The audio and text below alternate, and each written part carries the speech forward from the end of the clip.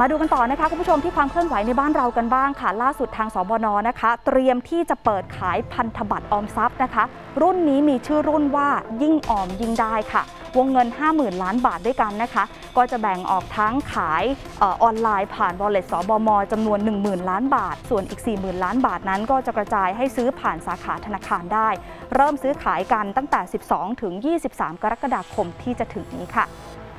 โดยคุณแพทริเซียมงคลวณิชนะคะผู้อำนวยการสำนักงานบริหารหนี้สาธารณะ หรือว่าสบนเปิดเผยรายละเอียด บอกว่ากระทรวงการคลัง จะเริ่มจำหน่ายพันธบัตรออมทรัพย์พิเศษ รุ่นยิ่งออมยิ่งได้นะคะ ผ่าน Wallet สบม บนแอปพลิเคชันเป๋าตังเป็นแห่งแรก ในวันที่ 5 กรกฎาคม 2564 และผ่านธนาคารตัวแทนจำหน่ายในวันที่ 12 กรกฎาคมเป็นต้นไป โดยมีวัตถุประสงค์ในการระดมทุนนะคะเพื่อบรรเทาผลกระทบ และฟื้นฟูเศรษฐกิจจากการแพร่ระบาดของโควิด -19 โดยรอบนี้ได้อำนวยความสะดวกให้กับผู้ที่ลงทุนผ่าน Wallet สบม เช่น เพิ่มวงเงินจำหน่ายเป็น 10,000 ล้านบาท สามารถซื้อได้สูงสุดนะคะ 10 ล้านบาทต่อราย แล้วก็จ่ายดอกเบี้ยถี่ขึ้นเป็น 4 ครั้งต่อปีทำให้สามารถนำเงินไปใช้จ่ายได้เร็วขึ้นสำหรับการจำหน่ายพันธบัตรออมทรัพย์พิเศษ รุ่นยิ่งออมยิ่งได้นะคะ ก็จะมีรายละเอียดดังต่อไปนี้ค่ะ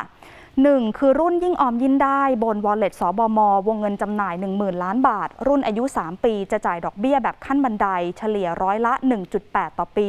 ซื้อได้นะคะตั้งแต่ 15 ปีขึ้นไป วงเงินก็คือเริ่มตั้งแต่ 100 บาทก็ซื้อได้แล้วจนถึง 10 ล้านบาท จ่ายดอกเบี้ย 4 ครั้งต่อปีจำหน่าย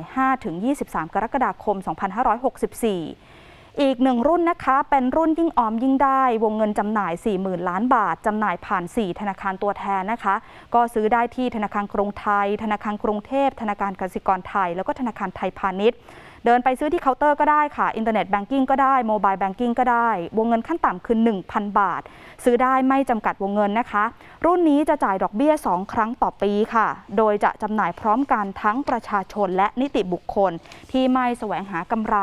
โดยกระทรวงการคลังกำหนดนะคะ ตั้งแต่วันที่ 12 ถึง 23 กรกฎาคม 2564 โดยวงเงินและรุ่นที่จำหน่าย ก็จะมีประชาชนทั่วไปนะคะ วงเงิน 35,000 ล้านบาทจำหน่ายรุ่นอายุ 4 ปี อัตราดอกเบี้ยแบบขั้นบันได เฉลี่ยร้อยละ 1.9%ต่อปี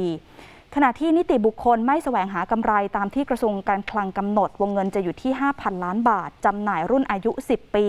อัตราดอกเบี้ยคงที่ร้อยละ 2.2 ต่อปีค่ะ